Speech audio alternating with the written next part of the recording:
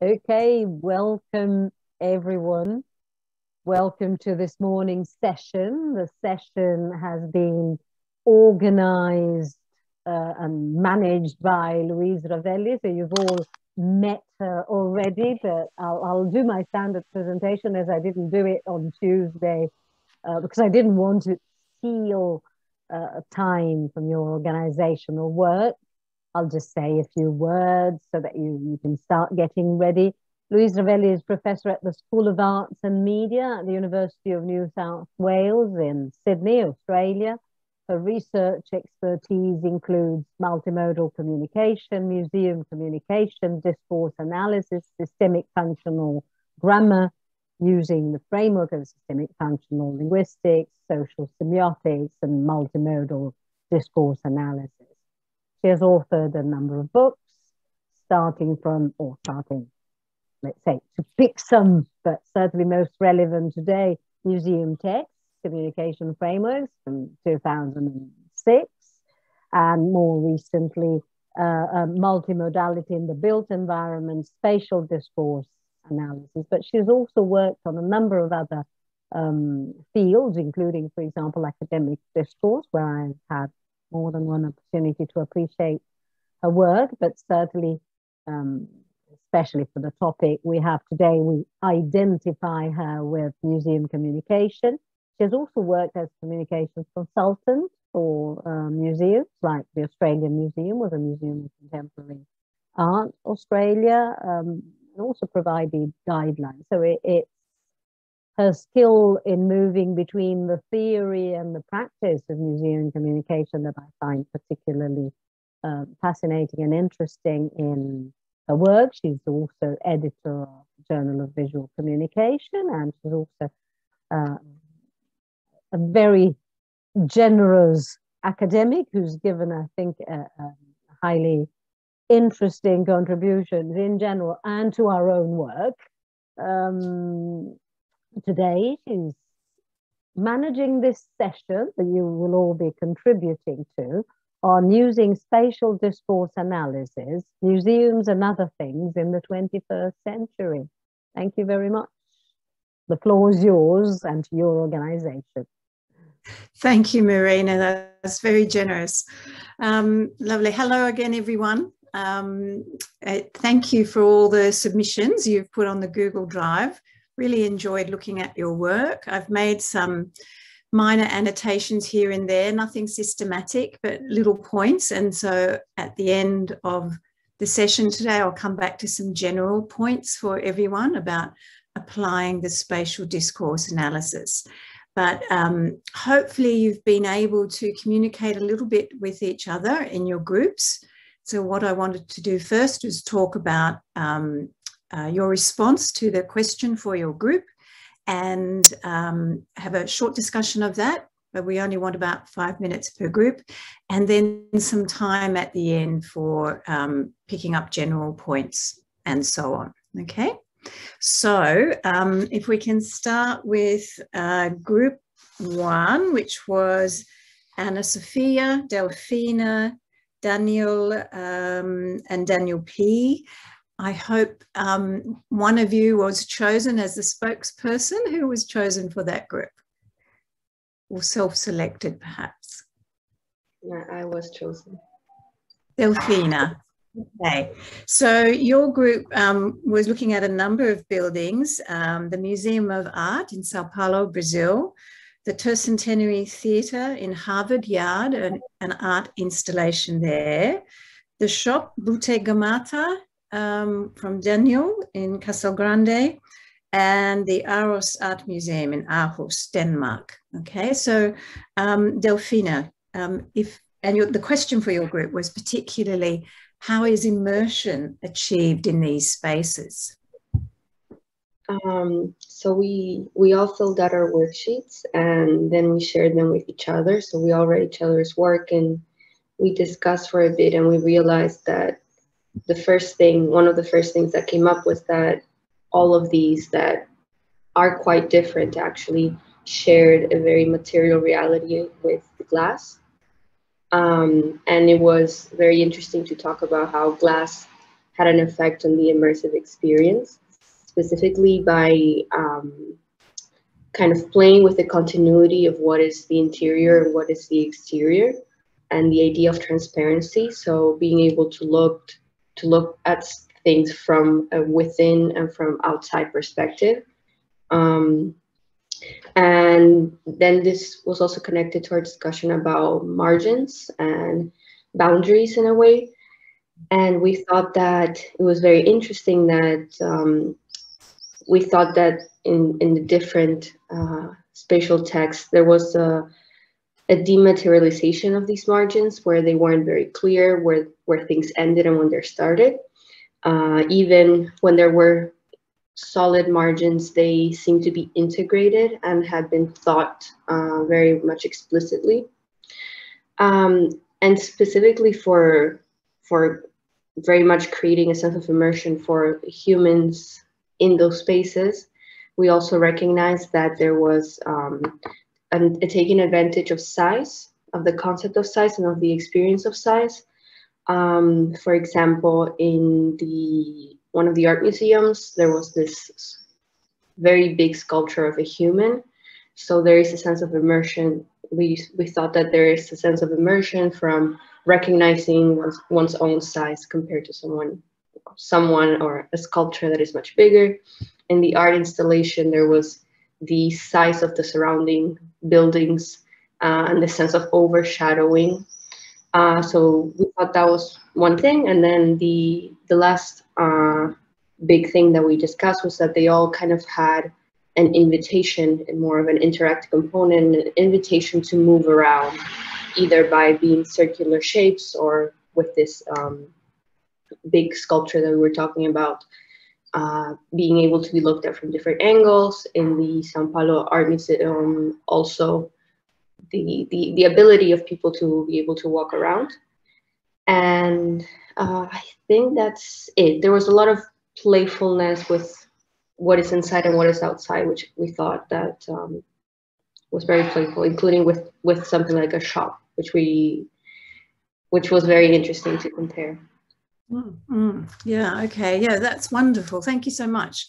Um, uh, that's a really fantastic answer. I remember Daniel's shop was quite different from the others, but um, Daniel, you were speaking about the windows and the flooring, creating some continuity with the outside. Yeah, and it had a fairly large scale relative to the other shops around it. So not quite the scale of the art institution or the Harvard buildings, but nevertheless a relative sense of scale perhaps. Yes, that's very interesting. So you picked up there that uh, one material resource can have an impact across different metafunctions. So here the glass is, is playing with the sense of boundary, um, which relates to organizational meaning, so framing and um, uh, the creation of information values and so on. But it also impacts interactional meaning, like where the user can be positioned or senses themselves being positioned. Um, perhaps also representational, not so sure about that. Yeah, but as you say, very much immersion through a whole variety of resources, the glass, the scale, and um, uh, picking up different metafunctional meanings, you know, being inside, outside, and so on. Yeah, yeah, very, very interesting. That lack of solidity. So in the Sao Paulo Art Museum, where the many of the artworks are almost suspended, rather than being placed on the wall, they're suspended in the middle of the space. And the Harvard Yard, where you can walk around those glass sculptures with the papers on them. Yeah, yeah, fantastic. Okay, just got like a minute if anyone else, uh, students from the other groups wants to jump in and ask a quick question of the group. Now's your chance. Just turn on your mic. Daniel, yes? Actually, uh, uh I'm from the group, so can I ask a question to you? Uh, the question is, um, would it make sense from a methodological point of view when, when discussing immersion and uh, you know with uh, buildings such as ours where glass actually uh, makes it i mean it creates a barrier between the interior and the exterior but at the same time it's an invisible one it's a transparent one um, would it make sense to reason on how um, it's not only the immersion of the person within the space, but it's or, or, the text, but it's also the immersion of the text within the social context, and how the person is made to be immersed both in the text and in what it, it is around. Because to me personally, the presence of so much glass is like an invitation for the person who is within the, the, the text to also feel as part of the rest of the text of, of the rest to the social um, situation, whatever it is. And so there is like a sort of trans immersion because you are immersed in one specific text, but at the same time, you also have an experience of what is outside the, the text in a different way because you are within this, the text. Yes, yeah, I think that's time, yeah. let's say if you're in, yeah, the question. It's like, because I was thinking like if you are in, in, inside such a place and outside there's like a storm or something you're still experiencing the thing but you can so, sort of perfectly see it from within a space where the storm, storm is not happening do you know what i mean it's like yeah sorry i think that's a bit of a messy no, no, no, no. I think that's a very good point, and that um, points to knowing um, where your analysis sits in the rank scale. So is it the user in relation to the building or perhaps the building in relation to its own context, for example? So that sense um, immersion, which is just sort of almost a term I plucked from the air, but it was just something that seemed to me common in those texts. Um, it can be achieved in different ways and at different ranks. Yep, absolutely. Also in terms of the glass being um, uh, solid, so it is a barrier, but uh, visually it's transparent. So when you get into the details of framing, what kind of framing, there's further delicacy in the systems in terms of whether there's permeability um, physically, orally, um, sensorially, etc., um, which comes from the work of um, Boeriis and Nørgaard in um, Southern Denmark University. Yeah, so there's always more detail you can add. Yeah. Thank you. Okay, thank you, Daniel. All right, so um, group two, um, Federico, Arandi, Chiara, and Elena, who were looking at the Chelsea Football Club Museum, the Wellington Cable Car Museum, the Aquarium of Genoa, and the, Lap the Lapidary Museum. I um, forget where that one was. So who's going to speak for that group? Group two yeah we're actually you know rules are like records so we, we split it up i'll just you give you a quick overview of the meaning and you know the institution or, or the objects that are construed in those texts and then leave the floor to Arandi to pick up you know the spatial analysis of of how yeah. this is actually uh, can I um, can I just interrupt? So for everyone, so that, so I forgot to say the question for the group is how is the entity either the object or the institution construed in in these spaces. Yeah sorry go on yeah so we start we have an aquarium and you know it picks up from from where we left off uh, talking about immersion because it gives you an idea of you know the metaphor of diving into the ocean and you know experience uh, sea life sea animals and creatures in an immersive way. Uh, we had uh, lapidary museum, so you know, in line with Ugo Foscolo's idea of you know the importance of remembering those who came before us, full of tombstones and their location that celebrate the Roman past of Modena, and you know important people who belong to the city. Uh, for, for Chelsea Museum, it's a private institution located inside the team's own stadium. So it's, you know, a way of the institution self-promoting itself, showcasing memorabilia, paraphernalia, and trophies that, you know, celebrate the historic past of the team and you know the pride of being a Chelsea supporter and a member of that team.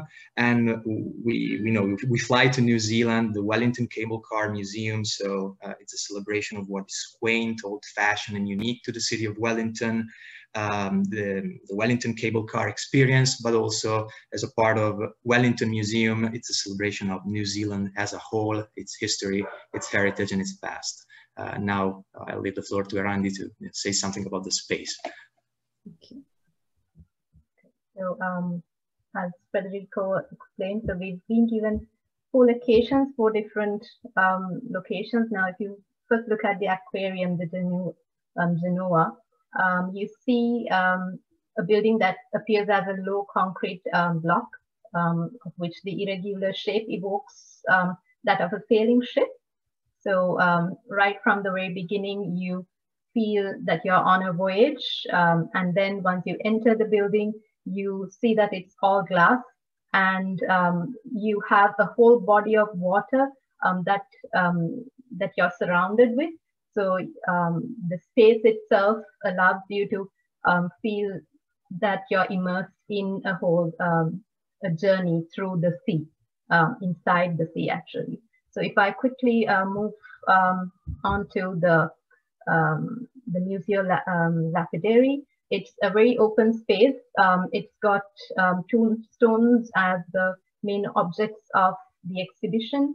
And um, at the center of the internal garden, there is a single statue.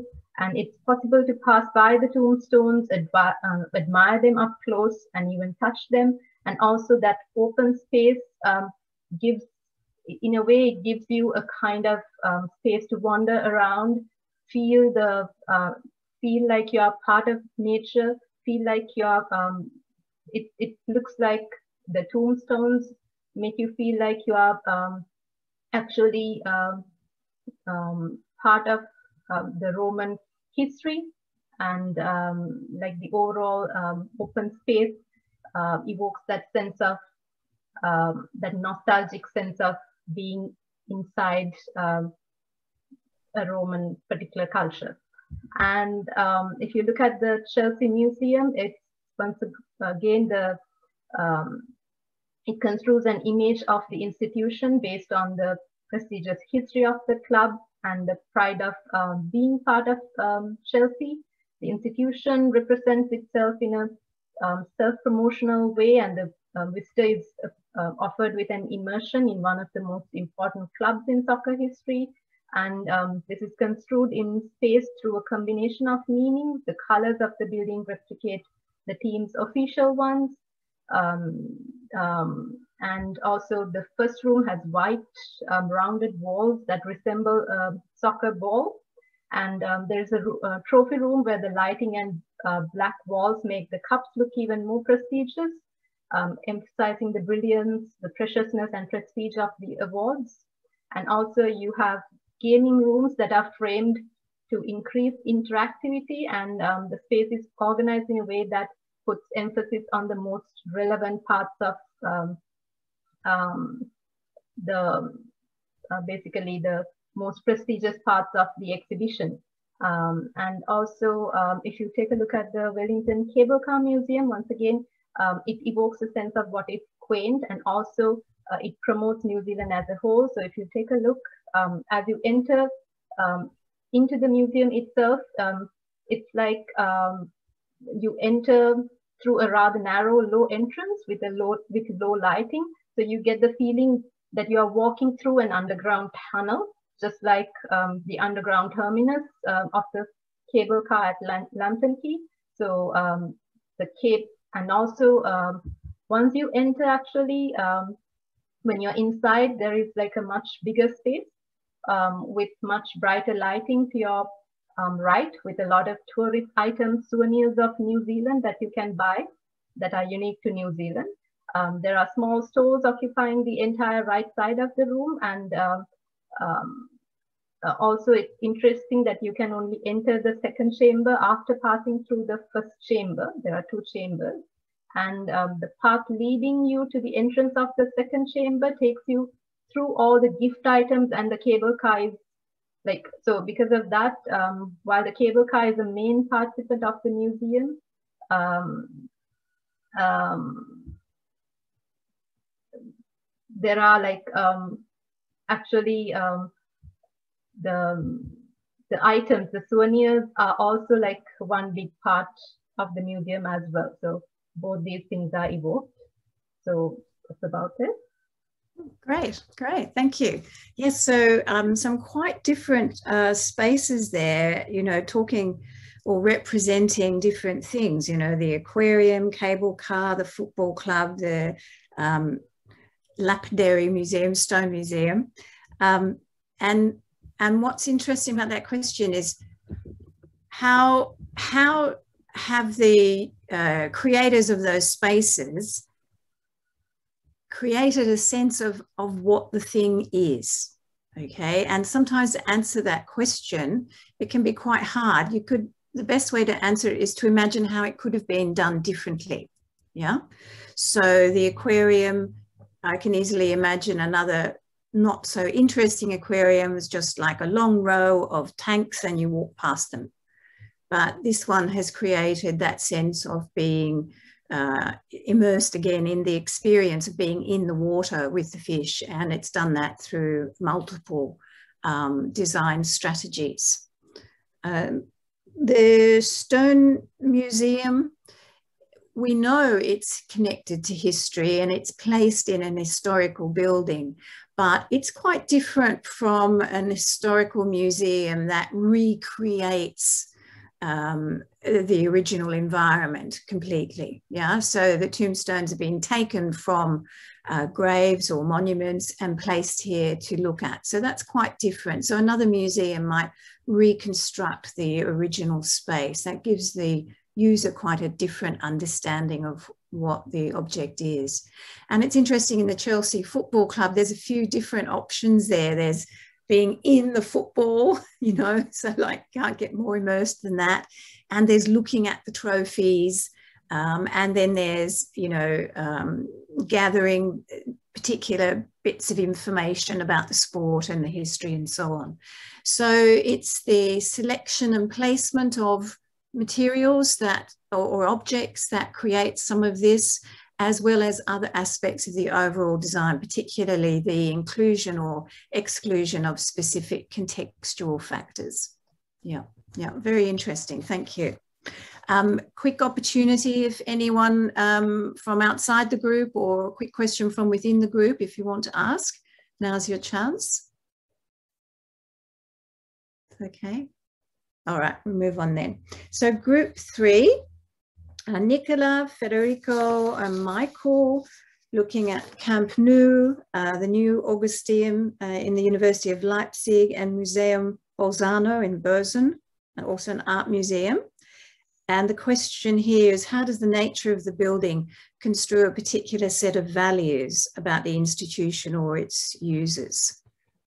Okay, hello. Um, well, uh, Unfortunately, we couldn't manage to contact Michael, but we can leave the floor also to him as well. There's no problem at all. So I was chosen as a speak person. Uh, we, together with Nicola, we have chosen uh, two completely different uh, types of buildings. I've chosen um, one of the main buildings at University of Leipzig where I have been in Erasmus and Nicola has chosen a stadium. Well, uh, in, for answering to your suggested question for discussion, um, we realized together that different resources contained in both buildings, uh, so belonging to all meta functions, combined together uh, to reproduce some of the values of these buildings or institutions. Started from the University of Leipzig, um, there's this very, very uh, big uh, building, uh, although it is irregular in form, um, it suggests the greatness of this institution because of this very um, huge dimension uh, and also the fact that this institution is lasting for many centuries starting from the um, from the date of foundation reported on the main door of the of the of, of the entrance building. Um, furthermore I realized because this was the building I, I personally chose that the use of glass in in the external facade uh, um, suggests the uh, value and the ideal of transparency of the university.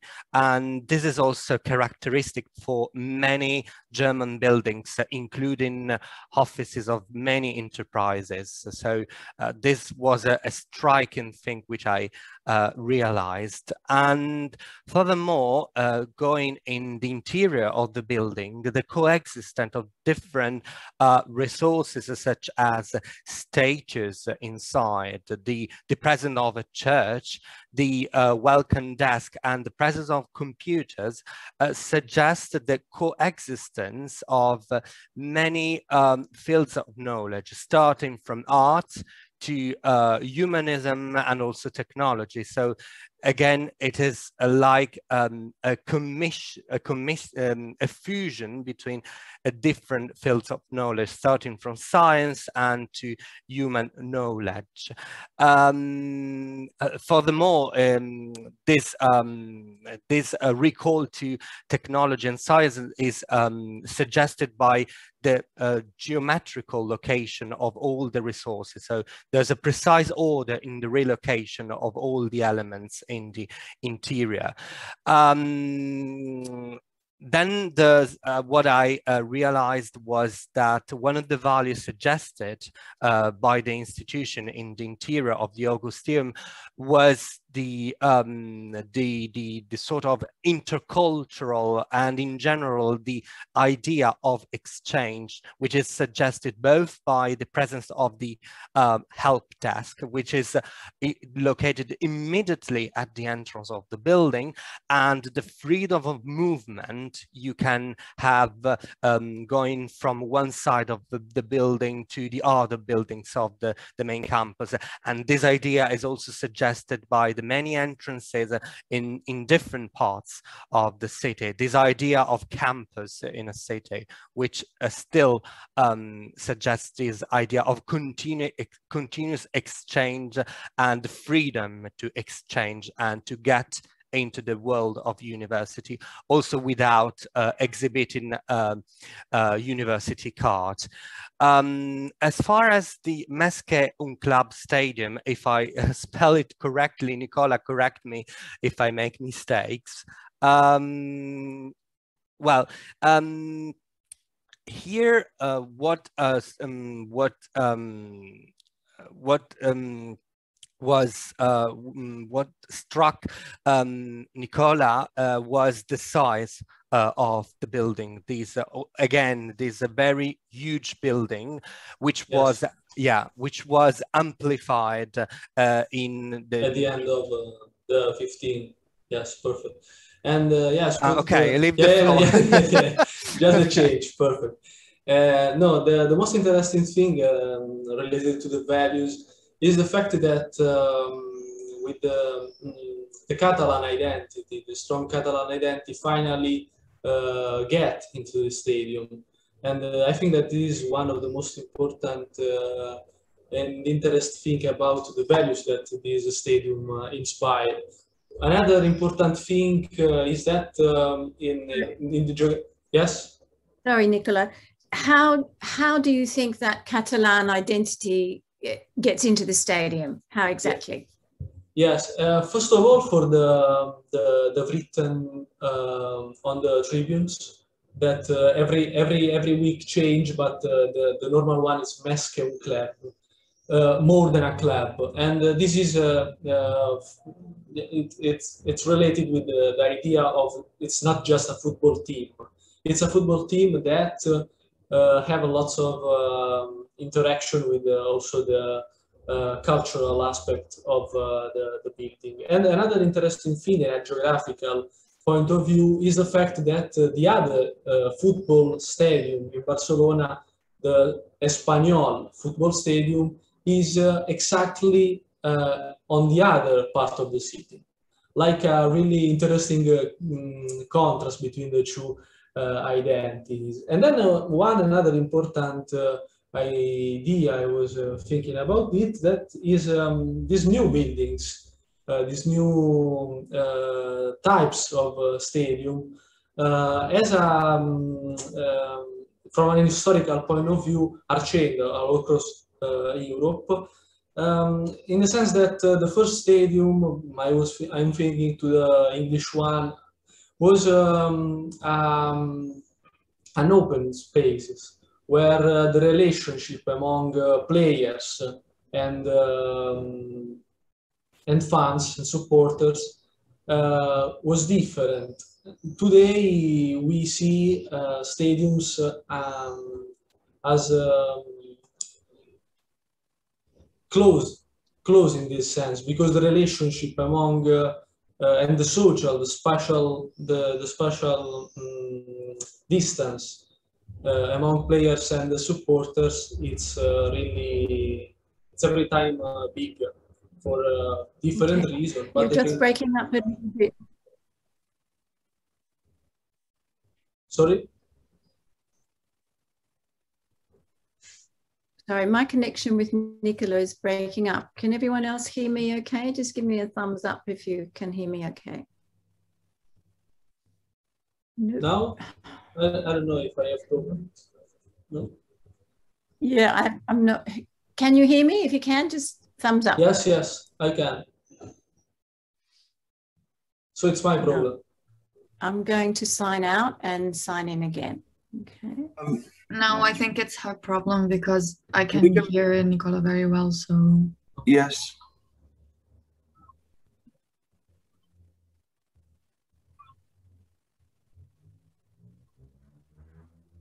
Think that it's Nicola's problems with connection. But I can hear Nicola pretty well. No, no, it, probably it's my English pronunciation that created this.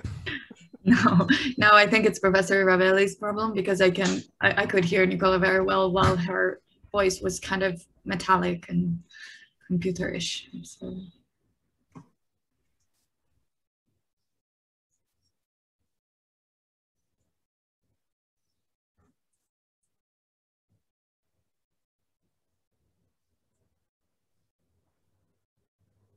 And you're speaking from Barcelona, Nicola. Sì, sì, sì. Yes, yes. I, I, I can see that from your window. Yeah, so distinctive. yes, yes, yes. What part of Barcelona are you in? Uh, Urquinaona, it's uh, near. Uh, I know, I know. Yeah, yeah, yeah. My son lived in Yeah. Barcelona for years, and that's Yeah. one of the key areas. Mm. Yes. Okay, I'm Yes. back. Oh, Sorry, perfect. Uh, some of you froze and some of you didn't. So I wasn't sure if it was my connection or yours. So I've disappeared and come back again. Sorry about that. All right. Thank you, Nicola. I think we'll stop there if that's okay. Um, But generally, yes. So we can see a relationship between the features of some of the features of the building and some of the values that it attributes. And in the Leipzig one, that that uh, sense of transparency, very interesting, relates also to some of the observations of the first group. And um, like just imagine a university today building one of their great new buildings, which most universities seem very busy doing, without a big glass component. Right? It's just not not the norm for now right? Yeah so uh, the, that sense of engagement with the outside the permeability of the border is is generally fairly important. Okay and the stadium yes the catalan language as well as the content of the language very important for the values and the uh, spatial location in the city as you said opposite the like mm, Paola opposite to the Spanish one very interesting I think that um, merits um, a little, that merits more attention. That's really very interesting. Okay, um, Michael, just super quickly, Yes. um, you're able to speak to yours, but only just a minute. that's Yes, all only a minute. Essentially, it's uh, the Museion, the modern art museum in Bolzano, has similar characteristics as the Augusteum. It's a um, the message of, of modernism, of progress, of transparency and, and permeability uh, transported through um, high glass ceilings, uh, glass facades, and and the con architecturally contrast between the Museion and its surroundings. But the interesting thing about the Museion is also its uh, contradictions because, for example, uh, in the beginning there was an open free Wi-Fi access and then uh, it was removed because there were too many non-white people uh, dwelling in its surroundings and, and complaints and so on. So, so this message of permeability has been um, compromised during the years and, and you can see it also in, in how the space is used. And, and another uh, interesting thing about the museum, it's uh, 200 meters um, nearby the Bolzano prison, which is uh, a complete opposite of, of the museum. So you can see these both uh, buildings with our complete opposite messages, um, but um, interesting uh, connections. Yes. Mm, thank you, thank you, Michael. Very interesting. So, a couple of those points are very important. The uh, a lot of these new iconic buildings contrast greatly with their surroundings. Yeah, so this was something that many of you picked up on. So that is an example of one resource having meaning across different meta functions. So the resource there is the style or modality of the building.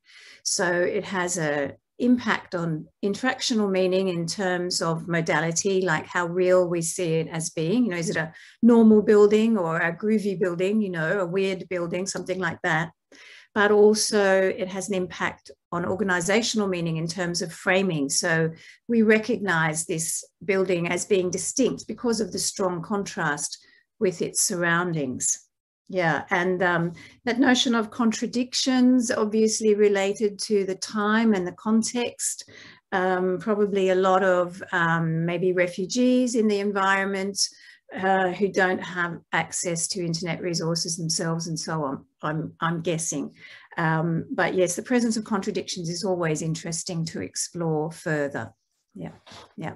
As well as the impact of um, time on the spatial design. So if you think about the design of offices, uh, in um, like large corporate offices, you know, the fashion in recent years has been for the open plan workspace you know, and much interaction and so on. Is that going to be the same when people come back to their offices after COVID, if they come back?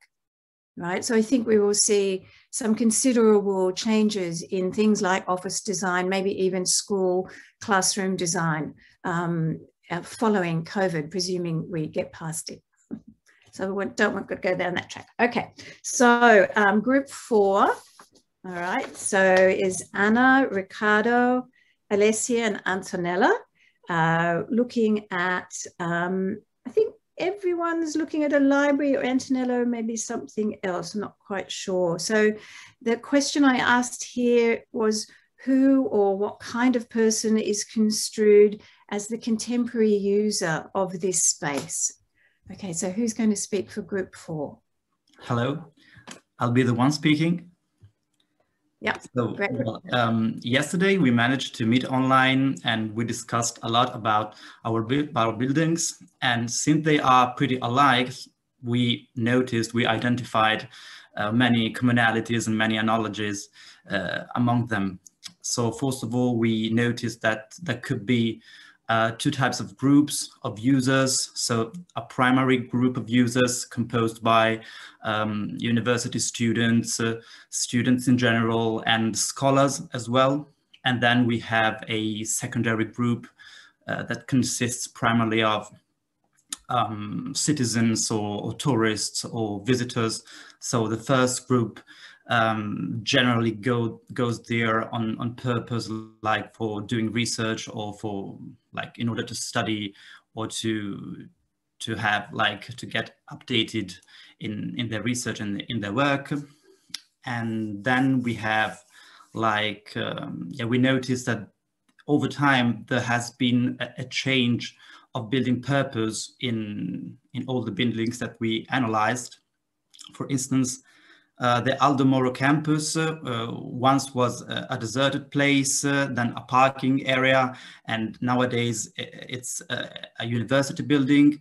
Then we have the civic library Marangeli, once uh, a part of San Giuseppe's uh, Abbey, and nowadays a library.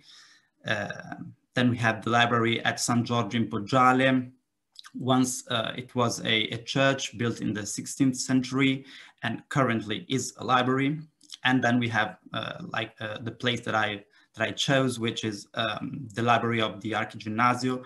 It was the seat of the uh, university uh, in Bologna in the 16th century, and now it's this wonderful library, uh, very um, with a lot of exquisite frescoes and sculptures and, and statues. And it's really wonderful because all of the buildings have these coexisting elements uh, between past and, and present. So they are very um, iconic, very symbolic for the city because we have this um, past-present permeation and uh, well, the combination between ancient and modern uh, kind of stands out quite a bit in, in all of these uh, buildings. And uh, what then we have as well noticed that all of the buildings, um, all the buildings like develop vertically uh, through ladders or, or stairs, and they are either in the city center or uh, near the city center. So they are, it's very convenient to, to get there with uh, means of transport or uh, simply on foot. And mm -hmm. what next? Uh, um, yes, we noticed that they are multi-purpose spaces. So of course they are um, libraries and, and areas of knowledge and culture, but then people after having uh, studied or, or, researched, they generally hang around there or meet up in order to drink coffee or to grab something to eat. And there is this permeation between uh, culture, knowledge and entertainment, which we, we found it very, uh, very important to, to point out actually. Mm. And yes, I think that's pretty much it. Okay, great. Yeah, love that. Thank you. Um, yes, can I ask about um, your text, Ricardo? Um, when people are using that as a library, they're going in and sitting at the desk, you know, and reading and just studying. Is that correct? Yeah, but before doing that, they have to pass through a, a metal detector because the library is very ancient, so you're not supposed to bring too much stuff in it, and you have to be very. Uh, yeah, th there's this metal detector uh, checking that you don't bring yeah, some yeah. dangerous material. Yes, but, but, if we contrast that to the civic library at Marangella, um, that's a space where it's comfortable to sit and chat and you know yeah so yeah they're a little bit different in that regard yeah but i think i think you pick up a couple of very interesting things there the notion of primary and secondary users um, is not a distinction that uh, Robert McMurtrie and I have made in our analysis, but I think that's extremely useful. Of course, it's there implicitly, but um, that notion is very useful. And um, uh, so whoever was looking at the baptistry, uh, Marta, that came up in your work as well of primary and secondary users, um, and also the multifunctionality of the space. And this, of course, relates to representational meaning. You can do different things in there, you know, read your book or get a cup of coffee. But this has important implications for interpersonal meaning as well. And um, Maree Stenglin says in her work that when you have this multifunctionality, it's kind of a hybridization. So you hybridize the functions of this space it gives people more reasons to be there and to stay there. So you don't have to leave the library to go and get coffee. You can have it in there. Yeah? And um, Robert and I have uh, looked at a library at our university, which um, has bean bags so people can have a little snooze. It has group rooms, it has individual rooms, it has open spaces and so on and so on. It doesn't actually have a cafe inside, but you can bring food and drink in, yeah. But this hybridization is also something that's very common in contemporary buildings, museums, offices, you know, so uh, rather than the specialization and differentiation of spaces, the sort of, um, yeah, mixing up of different spaces and their purposes. Yeah, great. All right, thank you. All right, so group five. So we have uh, Julia, Maria Sofia, and then Enrico. Uh, we are talking about um, the Palazzo Ducale in Modena and Broletto and the Broletto in Novana, Novara. Sorry, my my page is a bit dark, so I can't read it very well. And the question here was, um, how does the historical knowledge or absence of it change the way users might read these spaces? Yes. Um, so I'm going to talk uh, for the group. we settled that. And um, yes, there are actually two ducal palaces uh, because one is in Sassuolo, is Enrico's one, and one is in Modena, which is the one I analyzed. And we had to give kind of um, differentiated answers, like we couldn't really put them together because uh, in one side there was um, my ducal palace which right now is a military academy so obviously it has a different use. And then there was uh, enrico's ducal palace which is still seen and let's say used as a ducal palace and it's it's an historical site etc while um, the broletto is uh, for what i've understood it was a word used in the medieval times to describe like a, a courtyard or a place surrounded by walls. So um, and and maria sofia's uh, uh, place which was broletto in novara was actually really interesting because she uh, told us and you can read it in the document that we shared that uh, it's not not actually a really well-known place. So like the, the people in the city might actually not know or not recognize the name because it's such a um, it's a place with lots of um, um, let's say pubs or restaurants so it's kind of difficult to for them to realize oh broletto you're talking about that place with all those meeting points where people sit and everything and that actually has a name and it's recognized as that, right? While for the ducal, the ducal palaces, obviously uh, they're very well known because obviously you just see them, you can spot them in plain sight. And um, uh, obviously the historical meaning the, the, the knowledge are beside for the broletto obviously the, the for the ducal palaces are the, the historical knowledge are really important um, in different ways. So the Sassuolo ducal palace is more of a, a, a, common knowledge so everybody knows that. But for for the military academy ducal palace here in Modena um, it's more difficult for a civilian to know that maybe because obviously they cannot get in very easily as maybe in Sassuolo they would So the cadets inside the place know very well its historical meaning, while the civilians have more of a hard time to know it because obviously they cannot get it. And um, but the cities are uh, quite, mm, let's say, uh, not Novara with Broletto again because maybe uh, they do not all civilians, not all people know about this place, but for Sassuolo and and Modena, uh, people are impacted by by these historical knowledges because obviously uh, the, the, the ducal palaces are very big, huge and you can see them and it's and they're in plain sight for everyone so i think we had this like um, dichotomy between our three sites our three texts because texts because um, they are all historical they all have historical knowledge and meanings but they were quite different from one from the other. And if Enrico and Maria Sofia want to say something else, I think that was more or less what we talked about, but maybe I forgot something. so Um, so, uh, Julia, yours was the um, a palace where uh, civilians can peek in at the entrance, but you can't yes. go in. So there's a yes. gate or a guard or something like that. Yeah. Yes. And in, inside there's an open courtyard that is, is, of, is typical of these buildings, but you can't walk on it. Exactly. It's it's the weirdest thing and I've been inside so many times for many reasons, mainly because as I wrote in my uh, individual uh, document, I, I dance historical dances. So I had the chance to walk in it, uh, which is uh, funny. Actually, in one of the pictures in the debutant ball, I am one of the girls because I did it.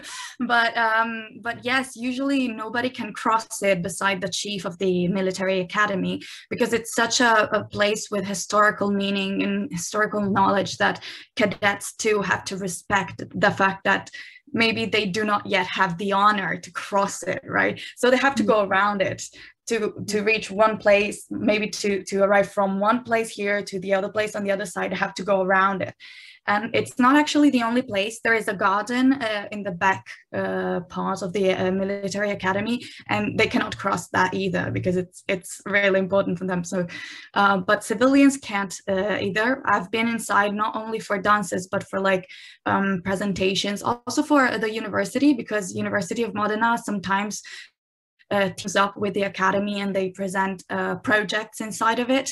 And they presented like a, a, some cars with the engineering department and something, and but but civilians still couldn't step in the courtyard. So there were militaries around saying you cannot step there, you cannot step there, because it's yes, it's really important for them. So yes. So um, the use of that space defines different users, you know, who's got the permission or the prestige, the status to use it. Yeah, very interesting. And even though the Broletto is very different from um, from the palaces, that contrast, particularly in borders and framing, is really interesting. So the Broletto not so clearly defined, you know, but the palaces big strong walls and mm-hmm. um, contrasting in their time and now in terms of yeah. architecture the surrounding environment so that sort of uh, two texts that contrast in type can be very useful to study because it shows you what is unique about each one Yes, yeah. uh, a thing that I found quite um, similar between Broletto and, let's say, my ducal palace is that um, in front of Modena's ducal palace right now there is uh, the square. I think I wrote it, and now it's only for pedestrians. So there are restaurants, there are ice cream shops, and everything. So like in Broletto, you can like eat and watch the historical place. So it's it's quite fun the fact that we are surrounded so much by history and sometimes we forget it but then you turn around and you watch the ducal palace you watch the broletto and you're like oh i have history around me right? So you kind of realize that.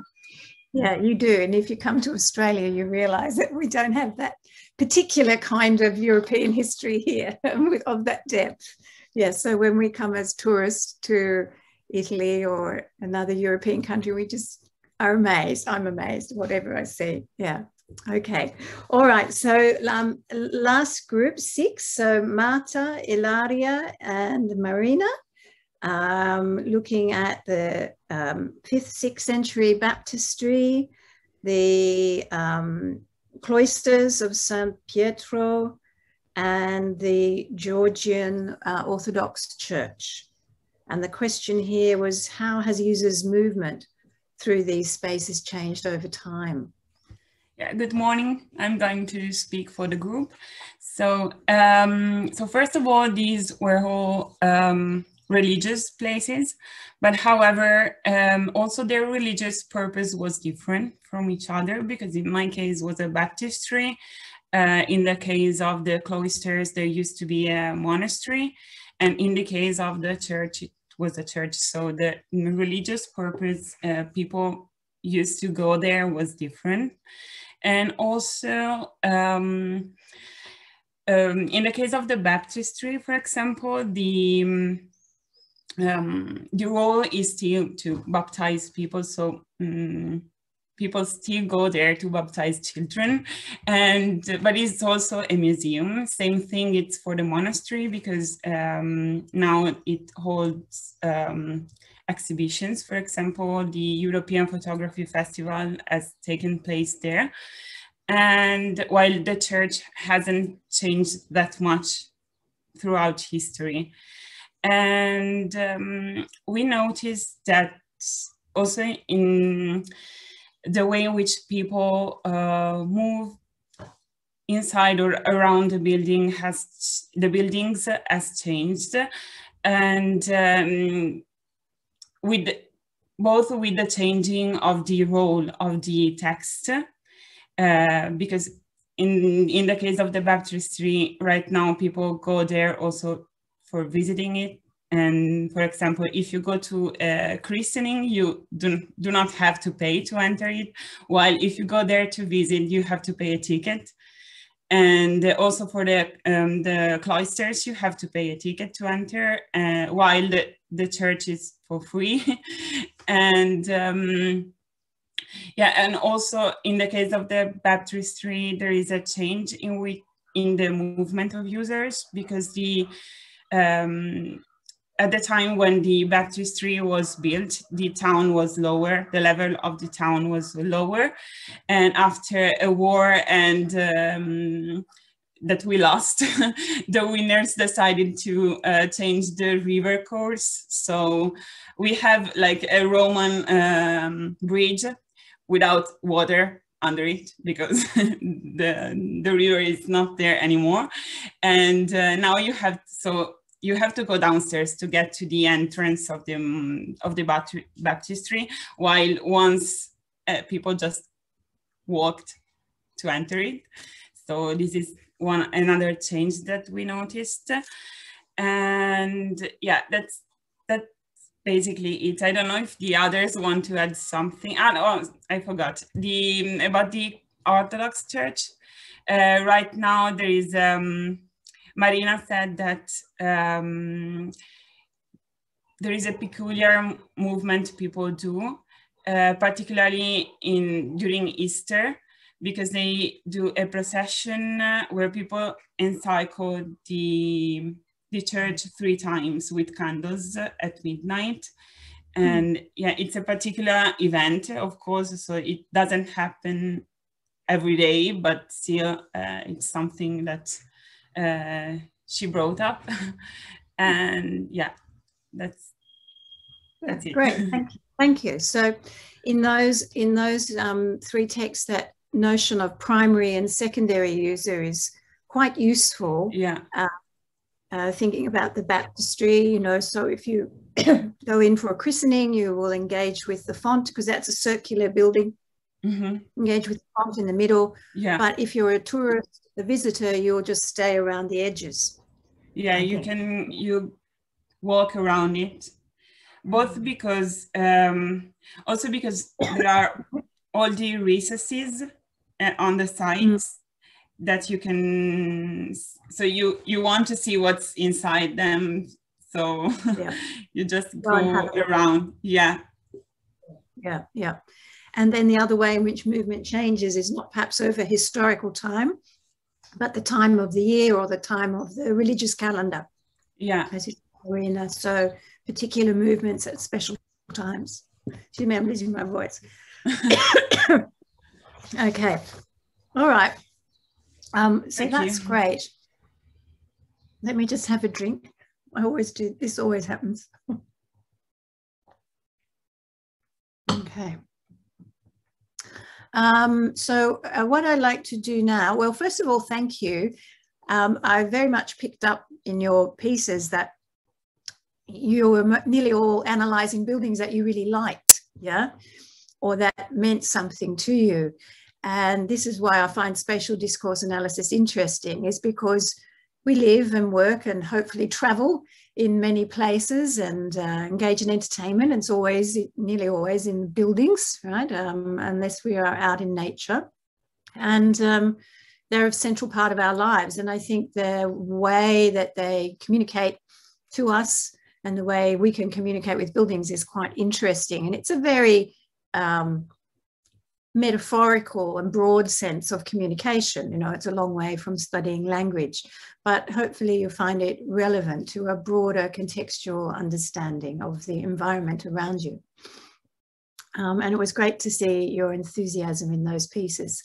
So um, I just want to pick up a few particular points about doing this kind of spatial discourse analysis, which is general to, um, to, to you all. So I'm going to share my screen now, hopefully. Let's go back to beginning. Okay.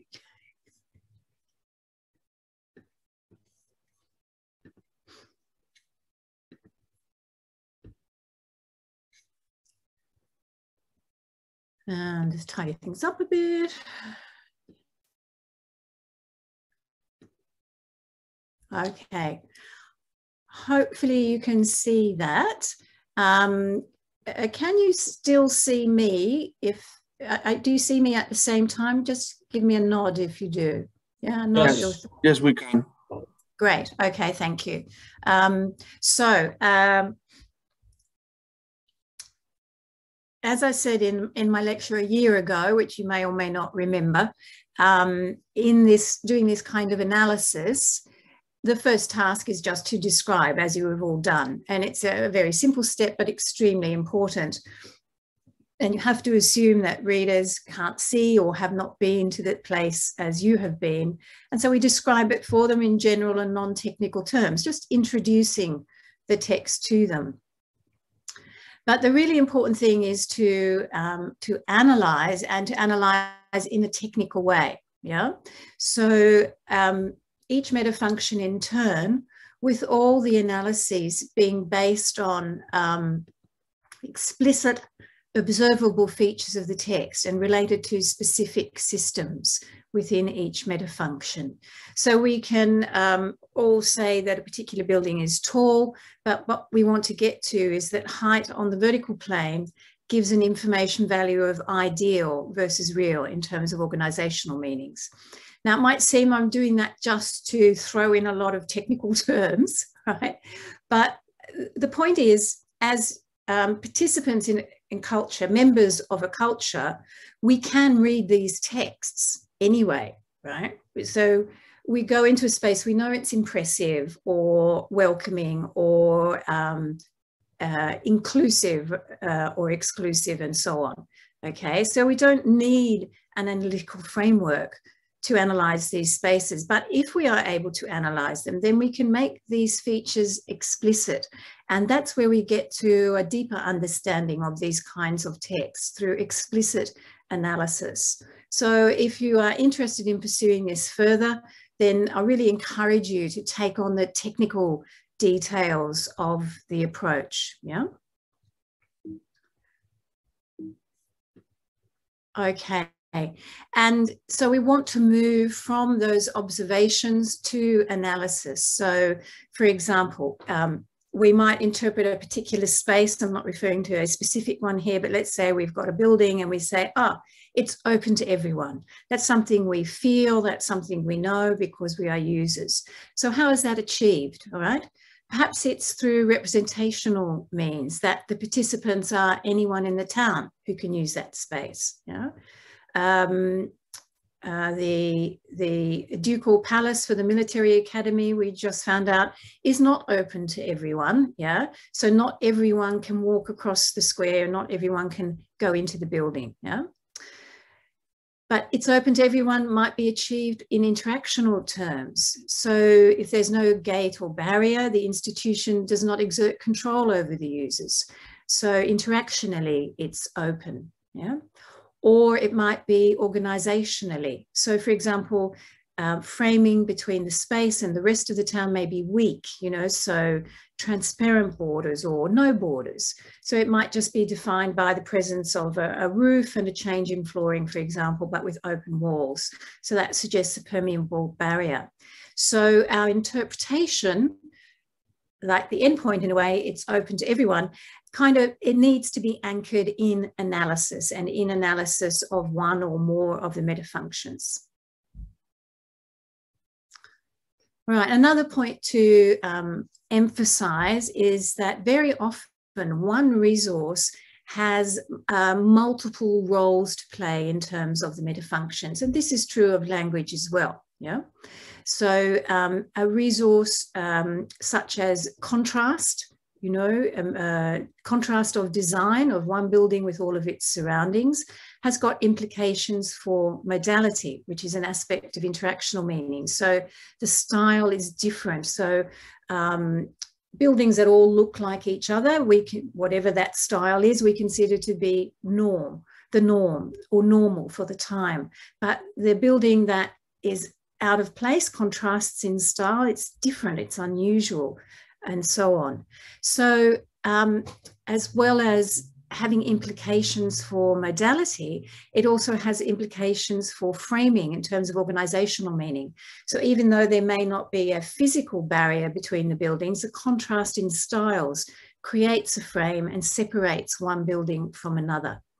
So many of these resources turn up across the different meta functions. So that's just something to look out for in your analyses. Um, particularly when you get down to a more delicate or more detailed level of analysis, it's important to differentiate the different systems. So sometimes it can be hard to see what the difference is. So maybe power and social distance look like they're more or less the same thing, but in fact, they're separate variables and they can be differentiated. So in terms of spatial design, power is, um, uh, is realized by height on the vertical plane, whether people are on the same level or um, one person or thing is above or below another. Yeah, so power is is a variable which is materialized by the vertical plane. Yeah, social distance is is interconnected with power, um, but it's different. Okay, so social distance is about um, proximity on the horizontal plane, how close we can get to someone else. And of course, we all know what social distance is now um, uh, because of COVID. And related to that point, um, differentiating systems, we also need to differentiate the general meanings of words like power with their specific and technical use. So um, power could be a general way of interpreting buildings and we say this building is very powerful or maybe we could use immersion like that, you know, we get a strong sense of immersion in this building and so on. But in the model, we don't have immersion as a technical term, but we do have power as a technical term, and it's just that relationship on the vertical axis. Okay, power can also be realized by some other variables such as um, which is spelt correctly, that solidity on the base plane, or particular elements of materiality. So if you're using materials that are very expensive or very rare, that may indicate, uh, attribute power to the institution because of that. Um, so it's important because many of the terms do have uh, everyday meanings. It's important to be aware of when you are using a term with an everyday sense or a technical sense. Something also very important to consider is alternative readings of the same space. So most of you liked your buildings and had uh, positive responses to them. Think, and if that's the case, think about someone who might have a negative response to that building for some reason, a resistant reading, yeah? So a quiet library, might be um, the best place in the world for uh, many people, particularly if you want to get on with your studies. Yeah, but for others, it might be uncomfortable.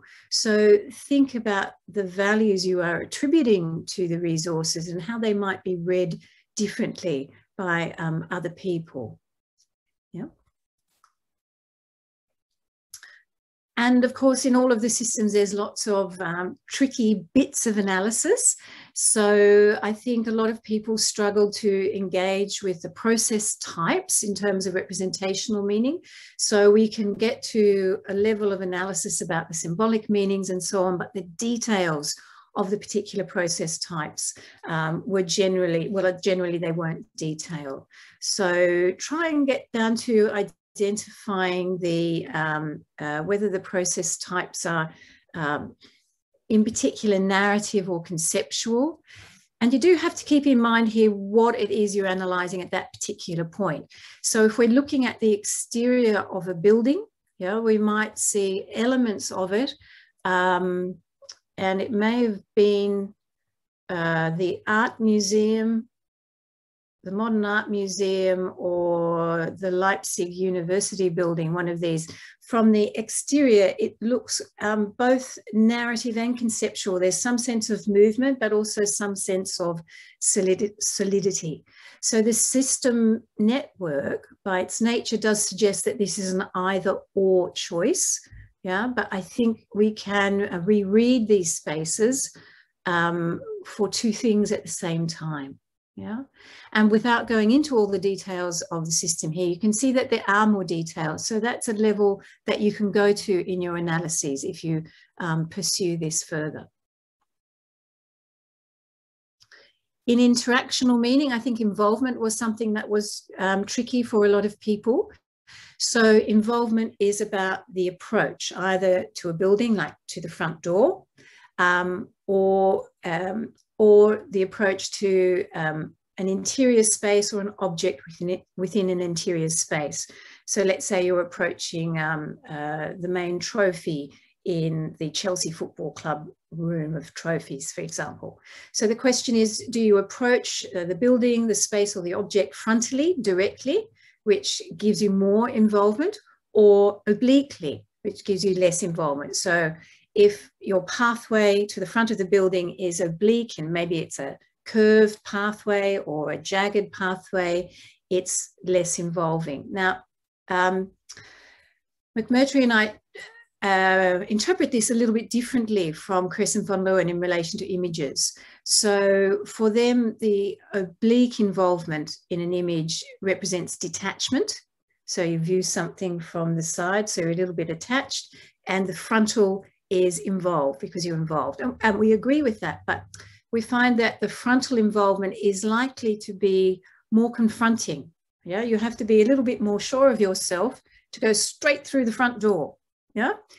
If you if the user is in some way lacking confidence or feels they don't belong to that space or don't have the right of entry, an oblique pathway will be more comfortable for that for that person. Yeah, so frontal and oblique is about the approach to the building or something within it.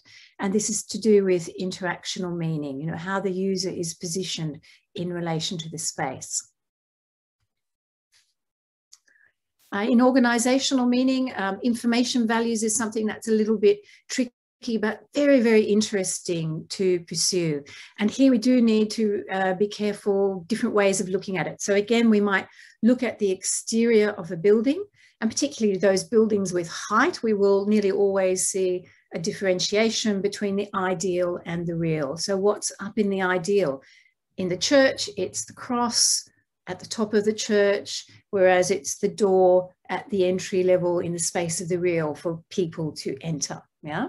So if we're looking at it as if it's two dimensional, particularly from the outside, we can see those kinds of values. So ideal and real, and probably polarization on the left and right as well, potentially when you're thinking about the interior of the building, or perhaps also the placement of a building within a larger context like a city, you want to think about the aerial view. Yeah, so it might be uh, you might create a little uh, sketch map of the interior, but from above, or take a, a view from above. Yeah, so um, there it's unlikely to be ideal and real that's in place because we're looking down on it, right? And we, we, still want to consider the building, but it's likely to be values perhaps of center and margin. So a lot of those very traditional buildings in Italy have got that strong structure around a courtyard, you know, so what is it that is in the center, you know, and sometimes it's an empty center, but also very symbolic. Um, the art installation at Harvard University was particularly interesting in using an, a generally empty space to be the location for a very important art exhibition. So that placement in um, informational value terms immediately gave that installation very um, strong symbolic values. Yeah. And if we think of information values uh, back on the horizontal plane and moving through a building, we often have a differentiation of uh, before and after, before you enter the building and after when you were in. So when you're outside the church versus inside, when you're outside the university or the library versus inside and so on, what is the meaning of that transition? You know, it's about acquiring knowledge or um, engaging in a religious act and so on. So all of the information values um, can be pursued in more detail and um, think about which perspective you are looking at things from. Okay, so I'm going to, uh, I have a couple of questions for you and we'll go back to the open screen. So um, I want to leave the last few minutes for your, your general questions, if you have any. And then perhaps you may have a response to my questions. What did spatial discourse analysis really reveal or perhaps open up for you in relation to your text? And do you feel that there are extensions that are needed to the model or changes that are needed to the model? Okay, so I'm going to stop sharing there, go back to everyone on Zoom. So um, yeah, so um, first of all, for you, any general questions that you have, which may be going back to a specific detail of analysis and so on. Okay, so I've got a question in the chat. Um, so Federico, do you think that due to the effects of COVID-19 on our social lives, the metafunction of interactional meaning should be rethought in terms of how to make an analysis at that level? perhaps considering that physical contact and freedom of movement is still restricted. We hope not for long. Mm, very interesting. Um, I, I don't think it needs to be rethought. Yeah, I think the um, dimensions of analysis are highly applicable to the COVID context. So what we need to do is contrast the pre-COVID and during COVID situations. Yeah, so um, interactional meaning, you know, social distance. Okay, so um, uh, what? So the the distances of um, public versus social versus intimate don't change, but our responses to them perhaps change, right? So we might feel really uncomfortable with an intimate social distance now. Yeah. Also, we might find a different interrelation between interactional meaning and organizational meaning. So we now have um, close social distances that are marked with frames, like a perspex frame in a shop to separate the customer um, from the shopkeeper, even if the actual distance is the same. Yeah, so we get framing used in a different way now because of COVID. So I think the resources are there to do the analysis, but the point is to contrast the current situation with our previous normal situations. Yeah, and I think that would be a very interesting thing to do, um, uh, both in everyday social situations and also uh, places of work and education and other professions. Yeah, thank you. Great question. Thank you. So any other questions? Like how should I analyze? I may have one. Marta, yeah, yes? because uh, while I was analyzing the baptistry, uh, especially um, regarding the interactional meaning with the institutions, at some point I was thinking that I was kind of describing, um, I mean, it seemed to me that I was writing a history of art uh, text, not a discourse analysis text, because, um, for example, I noticed the distribution of light that was higher in the higher part of the building, while the lower it's kind of dark. And I thought it could symbolize God easily. and I, I thought, okay, this is this could be an interaction with the religious institutions institution, but I thought, okay, it's also probably the meaning they wanted to achieve when they built the, the place. And I thought it was kind of weird is I mean, I didn't know what, what I was doing at some point. Yeah, yeah, okay, yeah, that's fair enough. Um, I think the, the, the difference then is to put in the technical details of the analysis. Yeah. Okay. So it, what's important in that particular text is that the light is coming in from up high. Well, first of all, it's coming in, right? Yeah. And secondly, second, it's up high. Yeah. And then, and then that shows us in organizational meaning there's a differentiation of above and below. Yeah. And so um, uh, this relates to the sense of the ideal and the real. And of course, what's in the ideal is, is God and the heavens, and what's in the real is the people on earth. Yeah. Okay. So yeah, this this relates to the analysis of images as well. You know, you can go and analyze a photograph, a painting, an art installation, and so on. And yes, you can do an uh, art historical description and analysis, okay? But a social semiotic uh, analysis is, is explicit about the materialization, the realization of the features which enable you to arrive at an interpretation. And that's often implicit in these other approaches. Yeah, not that they are not valuable. You know, art history teaches us a lot, but often the interpretation is not always um, the reasons for the interpretation is not always made explicit. Okay, thank you. Yeah, okay, great. Um, so Antonella, are there resources in the frame to analyze spaces from an environmentally friendly point of view? Would it be useful? Oh, sorry, everybody's dogs are getting tired. That's my dog. Sorry, can't really. Sorry. Um, excuse me.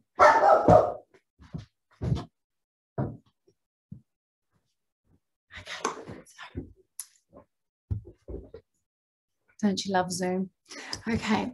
Uh, can are there sorry hopefully you'll stop there. Are there resources to analyze spaces from an environmentally friendly point of view? Would it be useful to include them? Awareness of climate change social responsibility. Yeah yeah. Yes i think particularly in terms of representational meaning yeah so the materials that are used very important um, some of the hidden aspects so the energy that is consumed in the building um, so this is where we particularly see environmentally friendly uh, features. Social responsibility. Yeah, like modern corporations pay a lot of attention to social responsibility in the design of buildings, both in terms of energy consumption and resources, but also a healthy environment for um, the users of those spaces, uh, healthy for their physical health and their mental health and so on. So um, I think the resources are there in the framework to account for that, and that's a particularly important thing to account for. It would be very interesting to see in uh, interactional terms if there's other manifestations of environmentally friendly factors in that way. So, for example, um, related to senses of openness and what the user can and can't do. But I'd have to think about that one a little bit more. Yeah. Okay, a couple of hands up. Um, sometimes your your boxes move around the screen all by themselves, so then I lose track. So I'm going to go to uh, Giorgio first.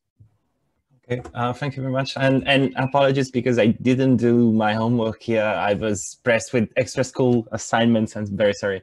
Uh, but I had I, I had uh, two two impressions here. Uh, uh, first of all, uh, is that the this notion of uh, first and uh, and secondary use, primary and secondary user is key. I was thinking when um, when um, the presentation on the Barcelona stadium was there, I was thinking about it a lot before you other people mention it because it is a stadium, but it also acts as a museum. So uh, you go there and you see this this multifunctional, multi-purpose uh, structure, blah blah blah.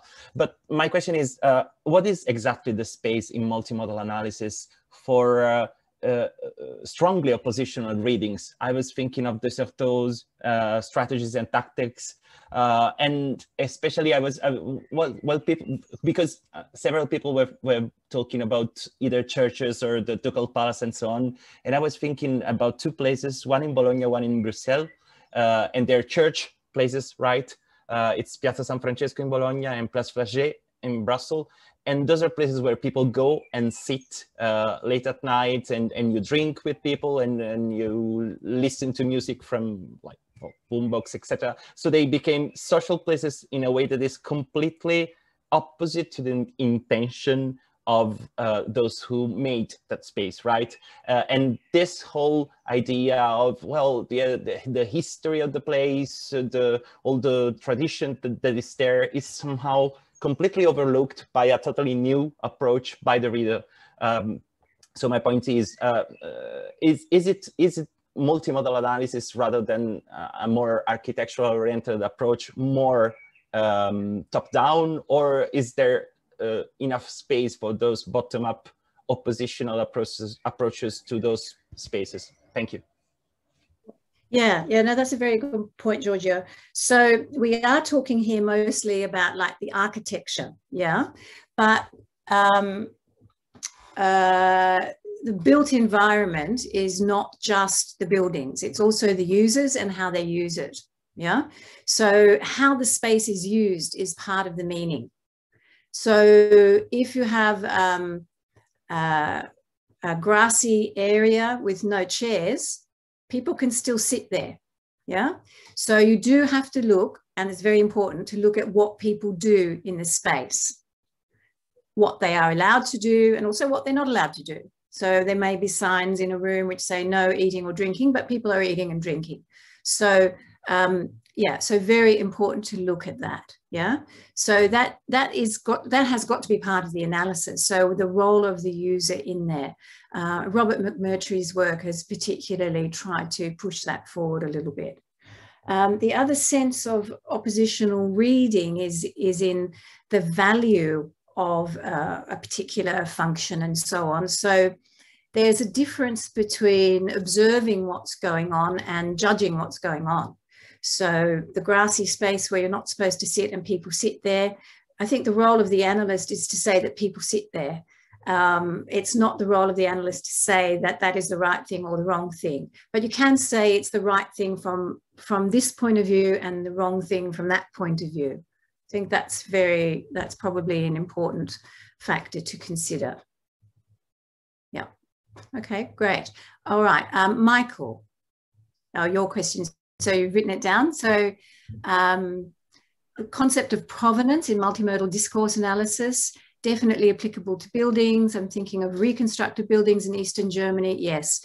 Yes. So provenance um, coming from the work of Kress and van Leeuwen. Yes, is very important in interpretation. It's like bringing history with you.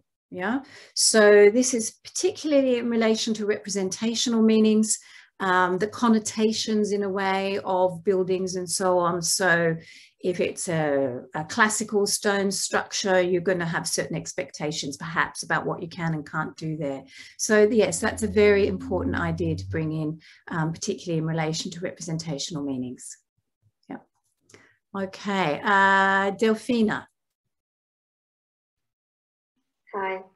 Um, I, I wanted to jump off of what uh, Giorgio said because my question slash suggestion for uh, expanding the analysis uh, would be also kind of this uh, posing the question to the analyst of what are valid slash legitimate slash official ways of interacting and which ones are invalid or illegitimate, right? Because as Sergio was saying, and also as I, I mentioned in my worksheet, there are sometimes these things are kind of blurry uh, but people might interact in unofficial ways uh, and leave their mark in unofficial ways. And I think that is very interesting. And also, um, perhaps one of the things that I think would be most interesting to, to also do in this kind of analysis, which has been great, by the way, because it made me think a lot uh, in a more structured way, uh, allowing me to understand how the same thing can have multiple uh, implications, is um, who is it designed for in terms maybe from more of a you know personas design perspective? But then with sub questions about who is the desired user and who is the undesired user. Because mm-hmm. many spaces do have you know political uh, implications about who is the undesired user. And these can be done in, in very implicit ways. So one example i was thinking of was the british museum I would say that an undesired user might be a Rapa Nui person from Easter Island who goes and sees their moai there and who is a victim of colonialism and that might cause uh, a problem when if they try to say something, right? Uh, and, and, and, this I'm saying from experience because I've been to Easter Island and I know these people. uh, and you know, there's a, a lot of hate towards the British Museum. So who is being thought of in when this space is designed, right? I think thinking of who might be desired or undesired there might be interesting. And another thing, sorry, last thing, another example would be like if there's facial recognition. Yeah, you have to stop there because it's already very complex. okay, let's stop there. So, um, uh, yeah, desired and undesired, you know, uh, yeah, so I think we don't I think intentionality in these kinds of spaces is is somewhat useful to consider. Yeah. So the big glass facade, you know, we, we want to maybe envisage that, that was to create transparency, you know. Um, but you don't want to get too caught up in terms of intentions. I think what's more useful to look at is use, okay? Use as uh, designated by the institution or the owner, you know so like as owners of homes or our own space we decide who comes in who goes out. You know institutions do this as well. Um, in relation to the art museum i think earlier they said they didn't want they started with this open policy wi-fi for everyone but then it brought undesirable. So they soon changed their policies. So um, use and social practice is really important. Um, so an institution is not just the walls of the building, it's its actual practices that it engages in, keeping people in, keeping people out, which defines um, whether they're desirable or not, um, and how they relate to them once within the space defines whether they're desirable or not. So a lot of museums are trying very hard to um, reconstruct and retell those colonial stories, you know, uh, some returning objects to their owners um, and some not, some doing it in different ways. So I think it's important to come back to social practices, both by the users and the institution that owns the building. Yeah. All right. So one super quick last question, Daniel, if you can make your question very fast? Yes. Do you mean me? Yes, Daniel yeah. Pasqua. So um, it's kind of related to the things that you were talking about, but um, it was very difficult for me sometimes to um, decide what was just my judgment, which is very subjective and very biased, and how we can actually make the analysis and the implications kind of uh, general for everyone. So have you ever tried to, uh, for example, collect pieces of evidence from different um, kind of analysts between inverted commas so that perhaps you can find patterns that are recurrent and you can say color is clearly indicating that from my interactional meaning this is clearly so or how, how does it work to make um, kind of um, mm -hmm. the analysis more objective and probably replicable Yes, okay. So we don't do anything like uh, intercoder uh, rater reliability, okay. But the way to make it objective and replicable is to be specific about the resources that you're talking about. So if you just say the building is very powerful, no one can um, uh, engage with that. But if you talk about a specific resource of height on the vertical plane or the, the, actual placement, um, people can at least refer to that physical resource and they might disagree with your interpretation, yeah, which is fine, but but it needs to be on the basis of the same resource. They need to say, well, for these reasons, I think it means something else. So I don't think we necessarily have to arrive at exactly the same interpretation. Yeah, but whatever interpretation we do have has to be based on an explicit and a technicalized analysis.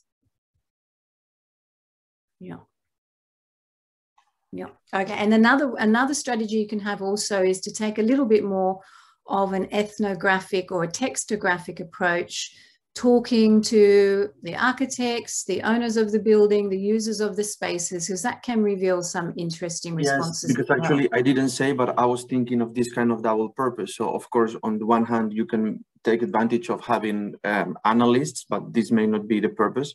But on the other hand, of course, we are analyzing, um, we are doing the spatial discourse analysis based on our social practices, beliefs, and attitudes. So I guess we are greatly influenced by them and, and any other researcher may apply different rules and categories and attributes. So Yes, this is why you need to allow for reading position. So as Delphine has said, you know, someone from the Easter Islands is going to interpret uh, the Moai very differently from a, a, a, British person. Yeah.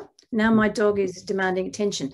So um, before you go, I want everyone to smile and wave, and I'm going to screenshot you all for permanent record yeah, smile, wave. Yay, beautiful.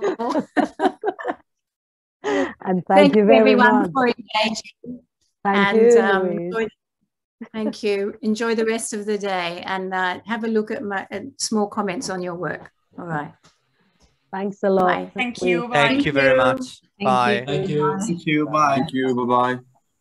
Back in a minute for those of us to go on. Okay, we reconvene at 10.45. Thank you.